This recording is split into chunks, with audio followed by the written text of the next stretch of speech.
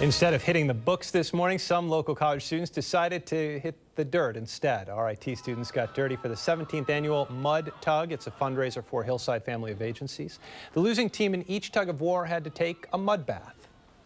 People love it. They look forward to this event every year. It's probably the uh, most well-known event on campus every year. Everyone comes here at the beginning of the year looking forward to Mud Tug. To keep people entertained when they're not actually tugging, we have little uh, buckets of mud everywhere so people can throw them, uh, dump them on people, get nice and dirty, and have a good time.